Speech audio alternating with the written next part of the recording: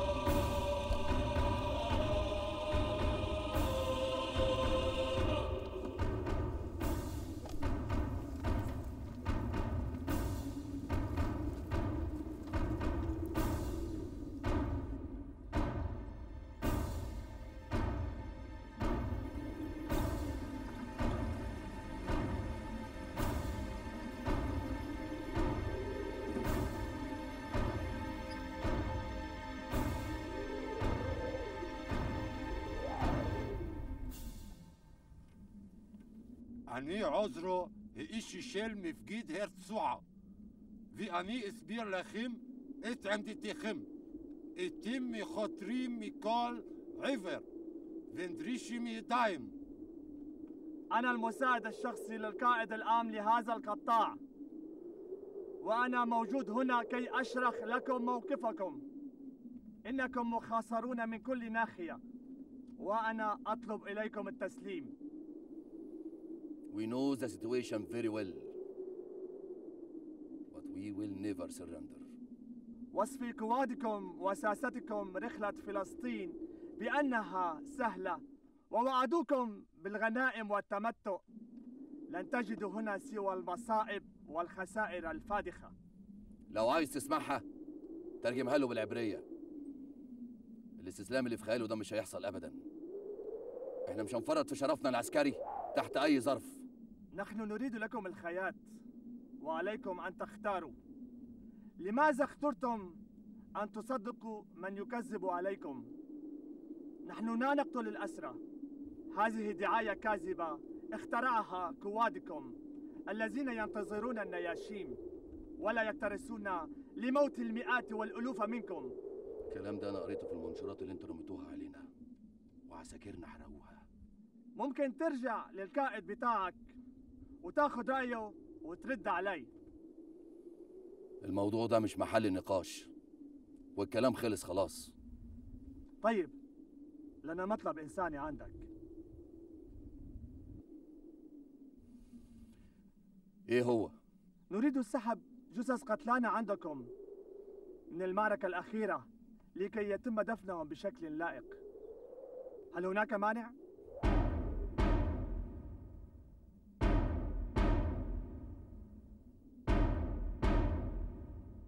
أنا موافق على الطلب ده.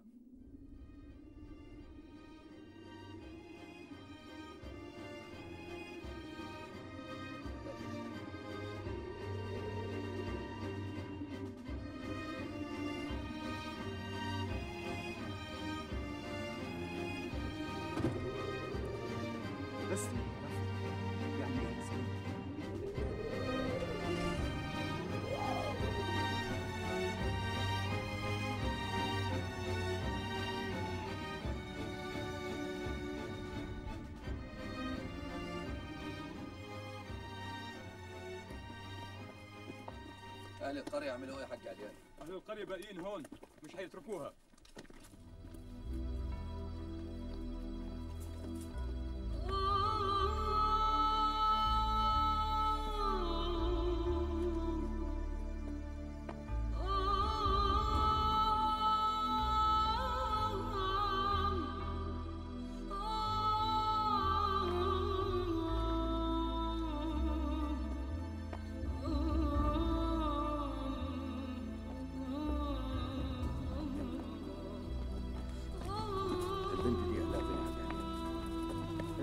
يا طفلي يتيم يا جمال بيك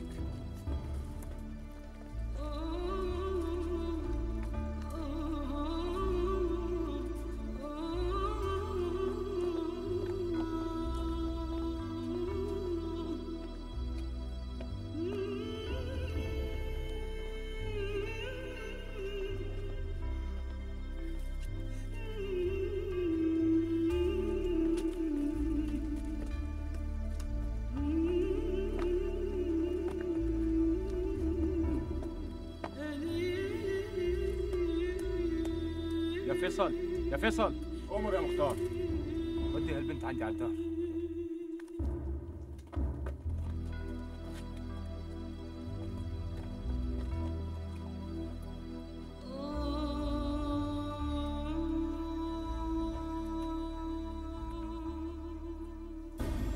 لازم نحمي القرية وتتحفر تحصينات فورا. العساكر بتاعتنا هي اللي هتعمل ده. وشبابنا فين يا جمال بيك إحنا وانتوا بخندق واحد.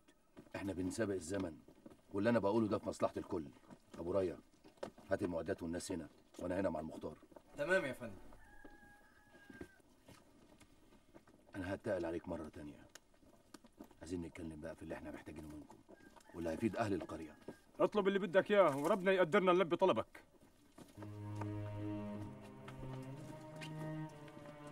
عندنا عجز في التمرين. ومحتاجين دعمك وأنا فكرت بهالإشي. جنودكم وشبابنا راح يطوقوا القرية بالخنادق. وفي شيء عملته مع المتطوعين بهالشأن وبدي اكرره إيه يا حاج بعض البيوت راحوا أهلها غزه وهي البيوت تصلح مكان للتمركز خصوصا إذا صارت أي مناورة بالعدو. بعدين لازم يكون في أماكن يرتاحوا فيها الجنود اللي قاعدين بالخنادق على الوقت. أنت راجل عظيم يا حاج عليان بس انت أكيد خدت فرقة اركان حرب قبل كده. الله يخليني اياك يا سيدنا الله يخليني اياك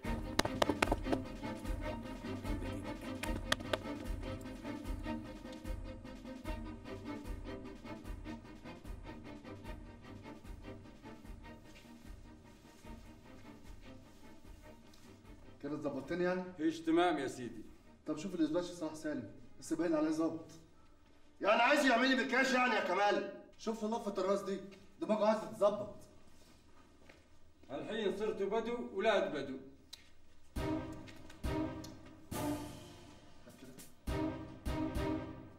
صدق الراجل ده بيتكلم صح؟ يا أخي امال أنا ليه ليه بس يا كمال؟ يلا بينا.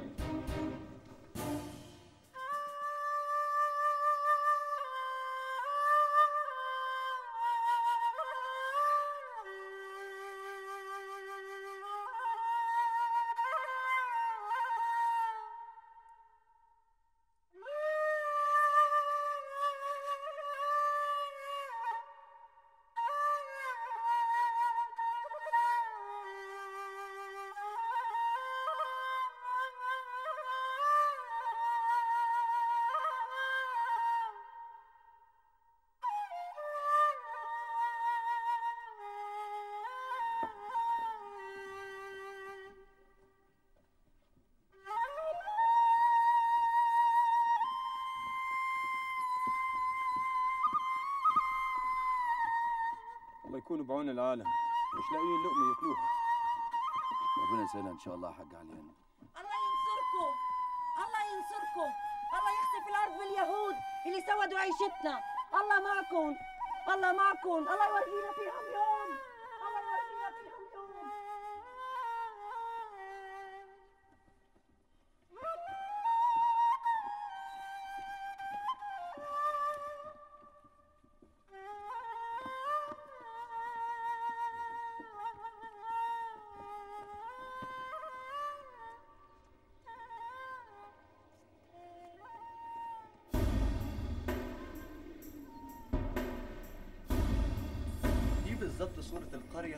القرية المحاطة بالخنادق ومكان المعسكر فيها والجهات الثلاثة اللي ممكن نتهاجم منهم. القصف اللي حصل جاي من الناحية دي لكن إمكانية الاقتحام حساباتها بتختلف. اتحرك انت وهو. اتحرك. خش من سكات لكتمك انت وهو. إيه دول يا عبد الفتاح؟ دول بدو مسكناهم جايين من ناحية غزة ومعاهم أربع بغال يعني إيه؟ يعني إيه؟ دول مدسوسين علينا أو رايحين باللي معاهم اليهود. فتشتوا البغال يا عبد الفتاح؟ لأنه بغل. ما فكرش يفتش البغالس يا جمال. كمال الدين حسين. وصلاح سالم يا سيدي. إيه الحكاية؟ أنتوا إزاي جيتوا هنا؟ وجمال. لله على السلامه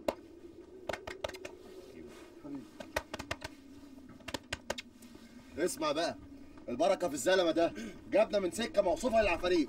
لا مش كده وبس. ما جيناش وقتنا فاضي إحنا ضيف عند رزق لا مؤاخذة يعني. اطلع هات اللي محملاه البغال بره. وما تقفش فاتح بقك كده يلا يا شويش! إيه ده؟ رشاشين بيرن كريم. وشويه تحابيش كده جنبهم تاني. محدش هيعملنا شايف الحتة الهو دي ولا إيه؟ ابني انت وهو يا صلاح أنا هجيب لك كل حاجة اهدى. تعال تعال كيف يلا يا صلاح يلا. كانت مفاجأة صعبة. كان لازم نتحرك في مواجهة مستعمر الجات اللي بتتحصن. والعدو شغال ما بين عراق المنشية وجبرين عشان يقطعوا علينا الطريق. وخدنا قرار إن الهجوم يبقى الفجر. لكن قبل ما نتحرك لقينا ضرب النار نازل علينا زي المطر. يعني المعركة بقت هنا مش في جبريل. بالظبط. لكن المفاجأة بقى كمان إن قائد السرية في مواجهة مستعمر الجات لقيته بيصرخ. بيقول لي العدو بيتقدم بدبابات. دبابات؟ اليهود عندهم دبابات؟ هما كانوا فعلا. بس لحد دلوقتي ما ظهروش الدبابات في المعارك اللي فاتت دي كلها. كنا مع القائد مقام أحمد عبد العزيز. الله يرحمه. هما كانوا من غيرها.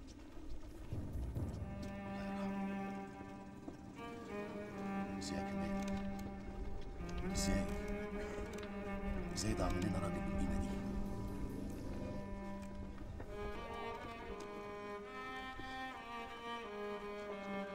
أنا كنت معاه يومها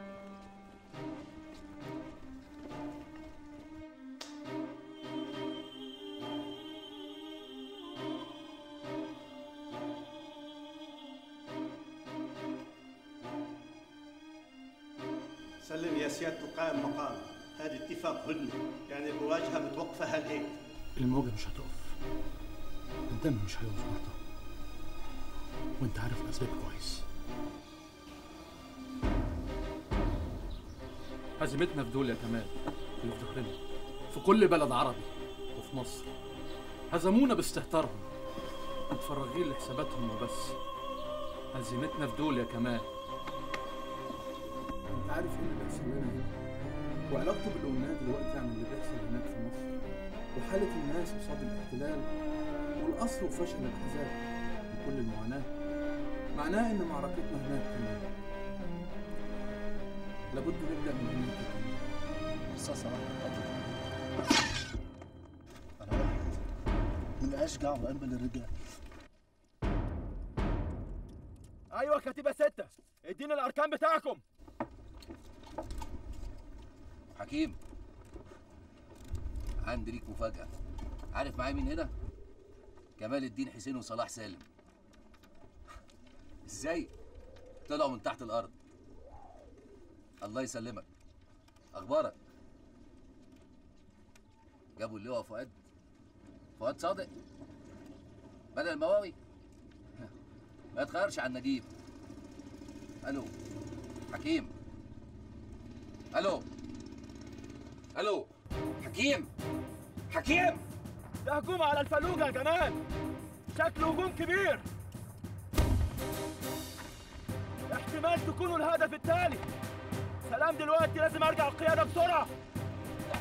ادي أمر الكلمة كله يجهز كله يجهز تمام يا فندم. كده بقى الهدف واضح. الطوعيين لازم يستعدوا الهجوم على الفلوجه معناها إمكانية هجوم شامل يا جماعة كله لازم يستعد في نفس الوقت. يلا عشان نطلع من نفس الطريق من نفس الطريق يا صلاح هنكون على اتصال يا جماعة يلا.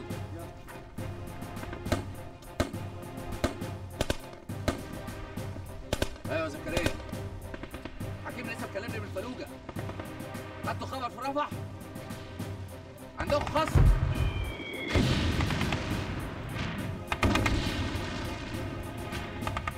الخصم فات عندنا. زكريا حاول تتابعنا عشان ننصر عشان ننصر يا زكريا. كل مستعد يا فندم. ربنا معانا. يلا.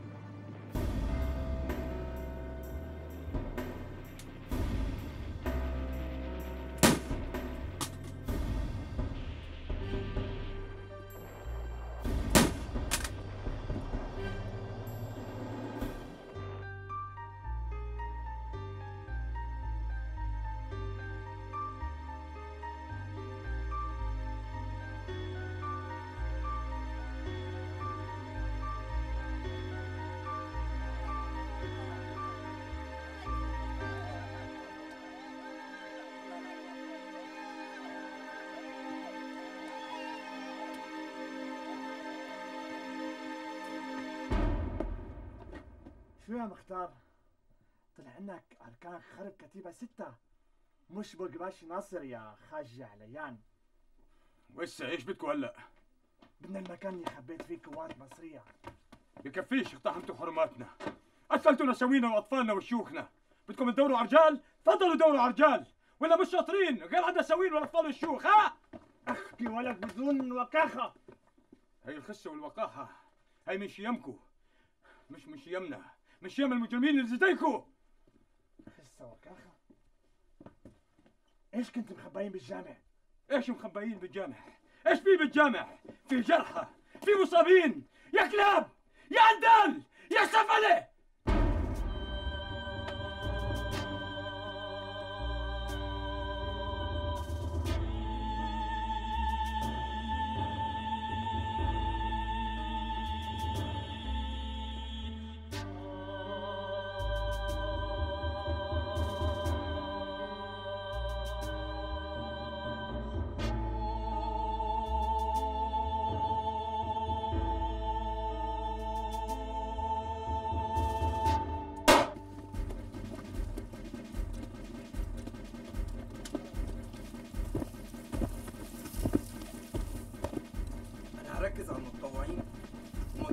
الجهة الثانية ولما يرجعوا اليهود هنكون شديناهم بعيد عن القرية. أنتوا صدتوهم عندكم. وهم ملخومين هنا. باقي الخطوة الثانية هم اتجهوا جنوب غرب البلد عند الجناين مستندين دخولهم المعسكر بقوة تانية. استنى مني تحديد مواقع ضربهم بالمدفعية. زكريا! زكريا! من أركان حرب كتيبة ستة لأركان حرب كتيبة واحد. زكريا خليك معايا. استنى إشارة ضربهم بالمدفعية. سامعني يا زكريا ضربهم بالمدفعية. وراها رجاله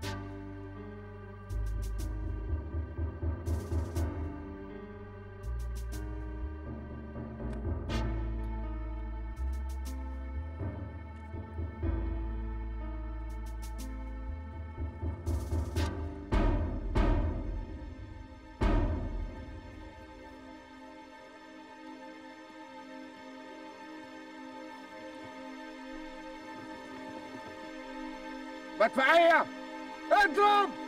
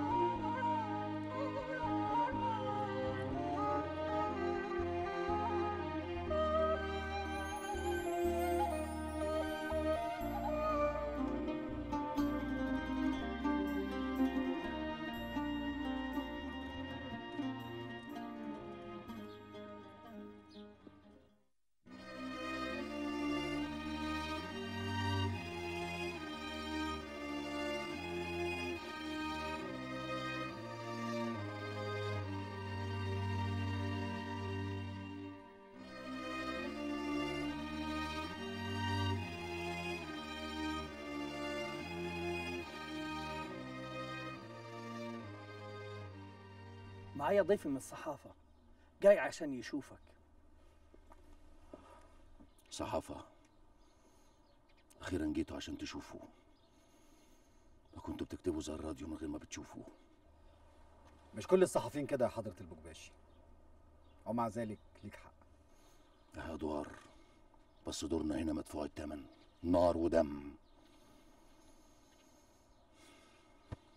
أنا آسف. بس اللي إحنا حققناه. مقدرش ناسين الحاج عليان وشباب عراق المنشية. لقفوا معانا لحد الآخر رجالة. الحقيقة أنا كان نفسي أقعد معاك ونتكلم. بس يظهر إن أنت ما عندكش وقت ومنهك كمان. يمكن لما أرجع من الفلوجة نعرف نقعد. أنا رايح أشوف الفهد الأسود. أمير الراي سيد طه.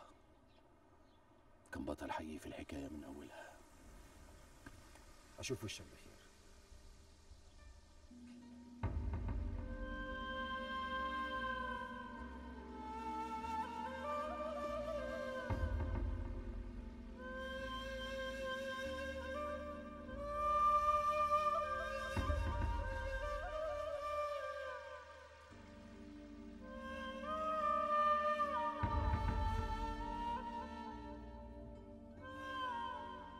حرب فلسطين. دخلها الشعب العربي بدرجة عالية من الحماسة والتضحية. ثم خرج من تلك الحرب بالمرارة والخيبة. إن هذا الشعب قد حكمته في بلاد القوى ذاتها التي ساقته إلى الهزيمة ونكست رأسه بالذل والعار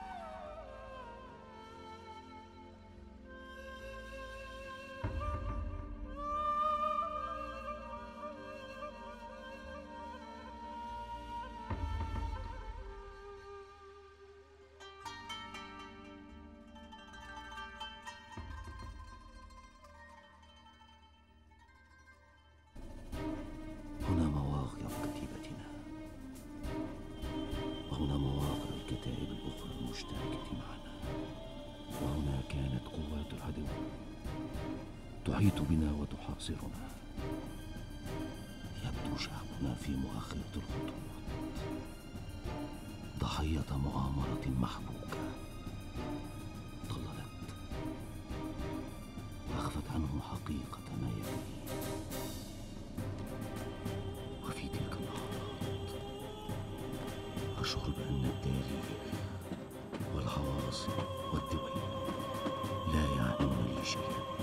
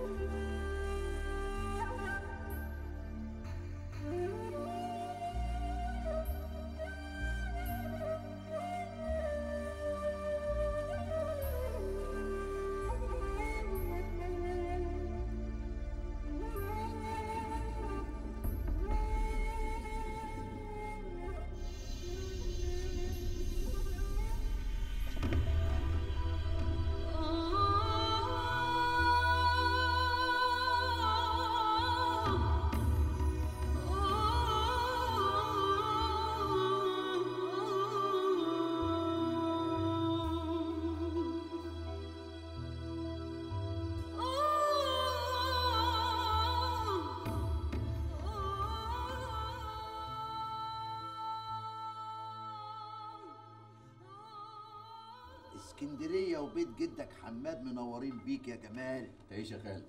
بسم الله ما شاء الله. إيه ده كله؟ إيه ده كله؟ وإحنا جينا نغربك ونكلفك بالشكل ده يا برنس. اليوم النهارده بمية يا خلو. أنت بتقول فيها أو النبي. اتفضلوا يا جماعة الأكل هيبرد. ده يوم رجوع جمال النهارده بالدنيا كلها عيد والله. عمار يا اسكندرانية. يا خالد إحنا هنضيع الوقت كله في الأكل. أنا عايز أفسح الولاد على البحر. وهو البحر هيمشي. انت مش ماشي من هنا قبل أسبوع. انت بتحلم يا خالد معقول الأكل ده كله يا جماعة؟ ده جمال. وحد الله يا مؤمن. كلنا منتظرين قدومه بالسلامة وطلته علينا. الحمد لله على السلامة يا بطل. يا سلام يا يا جامد انت يا فرع الطول انت. الأبطال ماتوا هناك يا خالد أبطال أكبر مني بكتير. خلاص يا جماعة. جمال أهو رجع لنا بالسلامة. صاغ سليم. وعلى فكرة مراتك مستلماك من النهاردة على سركي ها؟ يا ريتك ترجع الكلية تاني يا جمال زي ما كنت. والله يابا أنا كنت متصور كده بس أنا هما بلغوني إن أنا هستلم في الإسماعيلية. إسماعيلية؟ ليه؟ وإيه اللي يوديك هناك؟ جنب الإنجليز ولاد البلغة؟ بقول لكم إيه؟ بلاها كلام في السياسة خلينا كده فرحانين برجوعه. عندك حق يا اما قول لي يا عمي أخبار محمود إيه؟ خلف؟ والله يا ابني الظاهر من اللي شافه هو ونسايبه ببهوت قطع الخلف زي حالاتنا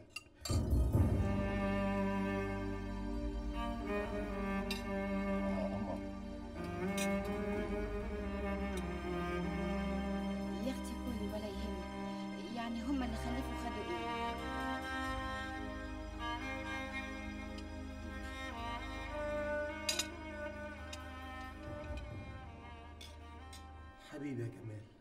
شاء الله. انت زي الفل النهارده اهو. هافف على بالي من أول ما صحيت. تصور بقى. عشان غبت عنك يعني شوية وإحنا في اسكندرية.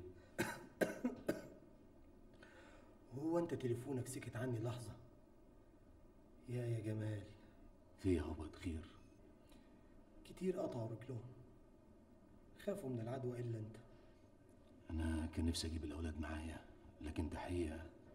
ليها حق تحية تخاف. بس اعمل إيه روحي فيهم بنظرة ليهم أعرف إن الحياة جميلة.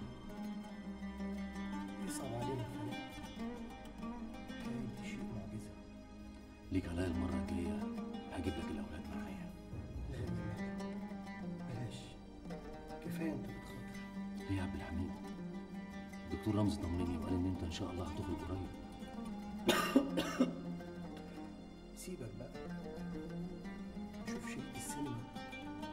يمسك دماغي من اول ما صحيت خير عبد الحميد. فاكر أول مرة اتقابلنا فيها؟ في فرح ابن عمك محمود. فاكر يا عبد الحميد. فاكر.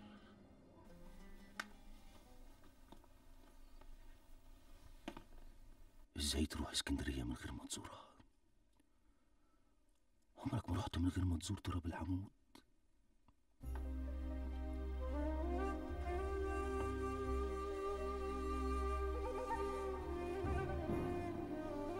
بس عملت اللي يرضيني ويفرحني في عليه كل مرار الدنيا يما أنا راضيه عنك. ربنا ينصرك يا جمال. جمال؟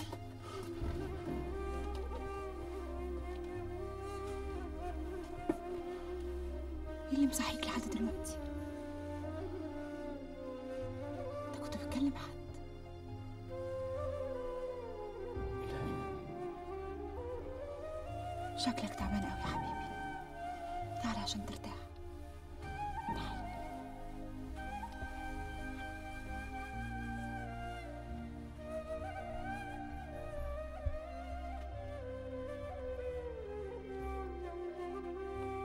انت مرضتش تقولي على اللي شفته هناك. وأنا مش هسألك. بس عشان خاطري. عشان خاطري يا جمال وخاطر هدى ومنى خليك في النهارده وبكرة. انسى. انسى. اللي حصل هناك جرح أكبر من أي كلام. وانت هناك أنا كنت بموت كل يوم. كنت مستنية اللحظة اللي هترجع فيها بفارغ الصبر عشان أحس بالأمان. ورجعت. بس من ساعة ما رجعت يا جمال وأنا حاسة إن إحنا ركبنا الخوف. أنت خايفة من إيه تحيه مش عارفة. أنا ما كنتش عارفة بالظبط أنت ناوي على إيه ولا أنت ولا اللي معاك. بس كنت قلقانة. ورجعت. بس رجعت بجرح كبير قوي. ومن غير ما تتكلم يا حبيبي. في في عينيك حاجة قطعة جوه قلبي. جمال أنا خايفة عليك. خايفة عليك وعلى عيلتي الصغيرة اللي مملوكش في الدنيا أغلى منها. أرجوك يا تحيه ما تقلقيش. مش أنت اللي طيب خاطري حبيبي.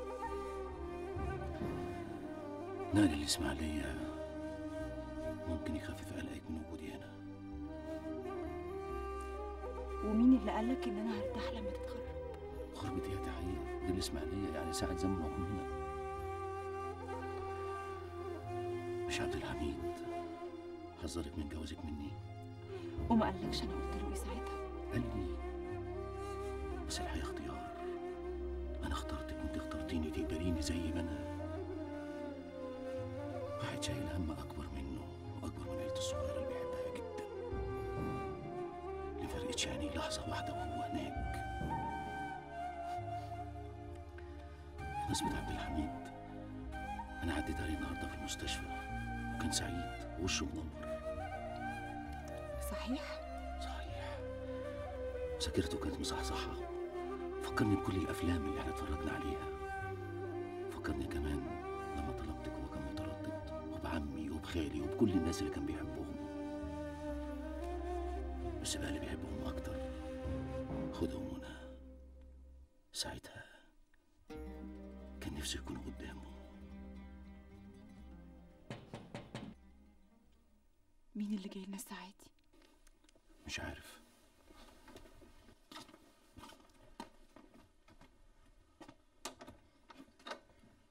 أستاذ سيد. مساء الخير. مساء النور. آسف إني جيت في وقت متأخر زي ده لكن خير. حصل حاجة؟ أنت جاي من المستشفى؟ الباقية في حياتكم.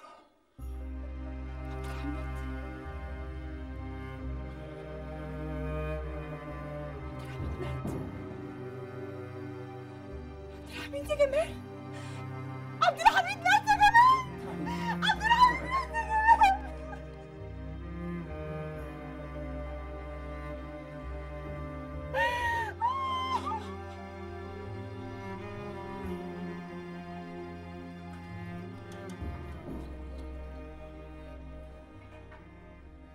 انت يا عم جابر شوف اللي وراك في الحضرة وإحنا اول ما تبدأوا هنحصلك على طول. حاضر يلا. ها. كنا بنقول إيه؟ الكل حاسس إن الجيش راجع متحفز من فلسطين. قابلت السادات وقال لي إن القصر في غاية القلق والإنجليز عايزين يرجعوا الوفد للحكومة. صمام الأمان المعتاد لما بيواجهوا الخطر أنا بحكم علاقتي باللواء حيدر قائد الجيش عرفت من مكتبه إن بالفعل قدم تقرير بيبدي فيه قلقه من الجيش. القلم السياسي بيؤكد نفس القلق جمال اتأخر قوي. ما تقلقش يا حكيم ما دام قال جاي يبقى جاي. مين عارف؟ مش يمكن يكون قابل حد من البوليس السياسي خطفه من قفاه زي ما اتعودنا شكلك مستعجل قوي على القلم السياسي معانا يا حكيم. ما تاخدهاش جد كده يا صلاح. إحنا قلنا إن قلقهم ده لسه في بدايته. على رأيك. إنما إحنا بقى على الآخر. عشان كده زي ما قلت لكم بالظبط. وجمال جاي دلوقتي ومعاه التصور اللي قال لي إنه عايز يطرحه. وأنا شخصيا من وجهة نظري يعني مبدئيا لازم نحط في الاعتبار الظروف اللي حاصلة في مصر مش الظروف اللي حصلت في فلسطين بس. يا جماعة إحنا لازم نعرف إن أهم مؤشر للاضطراب والخلل هو القتل المتبادل بين القصر والإخوان. أمين عثمان بعد لورد موين ثم سليم زكي بتاع مذبحة كوبري عباس وبعدها القاضي أحمد الخزندار اللي حكم على اتنين من الاخوان وفي الآخر النقراشي لا وأنت الصادق في الآخر حسن البنا. دي بقى الخبطة الكبيرة للحرس الحديدي. بمناسبة الحرس الحديدي إيه أخبار أنور معاه؟ لسه جوه التنظيم ده؟ الغريبة آه رغم إنهم طلعوه من الجيش بعد ما اتبرأ في قضية امين عثمان والقصر ما رجعوش تاني. الله وده يبقى إيه؟ تمويه منهم يعني؟ هو الراجل قبل باللعبة دي كده وخلاص علما بأن هو اللي اداني المعلومات اللي أنا قلتها عن القصر والقلم السياسي. عموما يا جماعة جمال شايف اللي كنا شايفينه. اللي حصل لنا في حرب فلسطين لازم ينقل التنظيم ده نقلة مختلفة. وينقل البلد كلها بكل ما فيها لبر تاني. معقول يكون ده جمال؟ لا طبعا إحنا مفيش حد فينا بيخبط كده. إحنا هنخاف من إيه؟ إحنا قاعدين منتظرين الحضرة. يا جماعة شوفوا لكم حل. إيه يا عم جابر بس إيه اللي حصل؟ واحد ظابط طالع ورايا أنا عارف إنتوا مين. إنتوا من الإخوان المسلمين.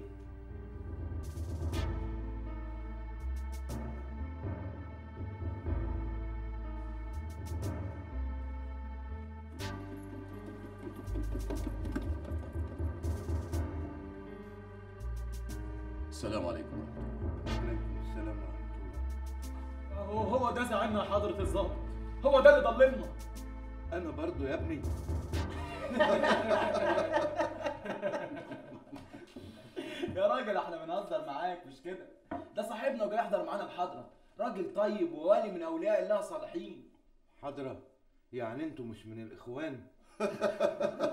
وإحنا وش الكلام ده برضه يا راجل؟